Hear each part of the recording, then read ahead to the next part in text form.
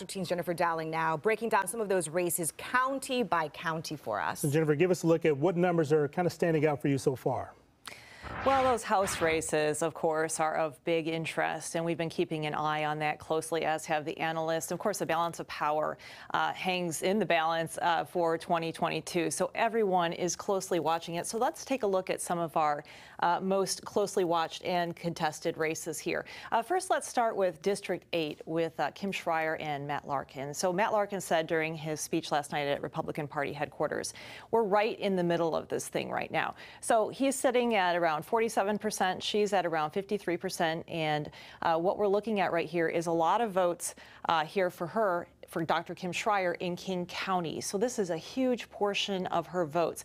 Now, some of his uh, best supporters have come from the areas of Snohomish County and uh, some of the other counties on the uh, east side of the district, um, also in the uh, Pierce County area. Uh, so he is doing very well there, but she has that big uh, voting block in King County. We've noticed early on, of course, the votes still coming in. So that is one to watch as well.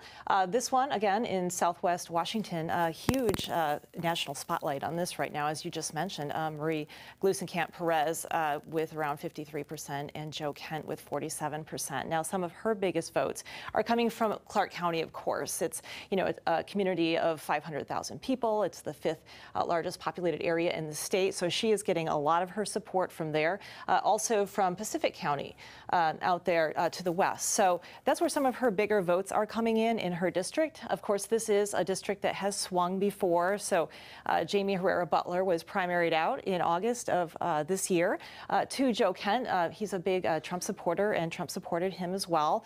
And she, uh, Jaime Herrera Beutler, if you'll recall, also voted to impeach Trump. So there was some question of whether um, that played a role in her getting primaried.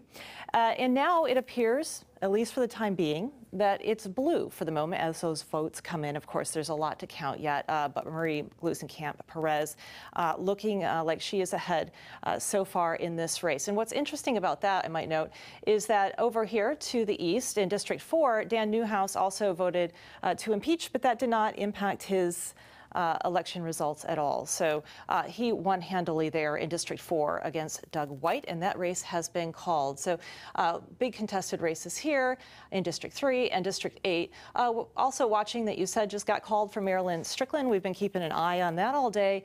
Uh, a lot of her support, of course, coming from Olympia and Tacoma. She's at 57% uh, there, and Keith Swank, 43, in that race just getting called for her. So a lot of exciting stuff to watch county by county, and we'll keep tracking it.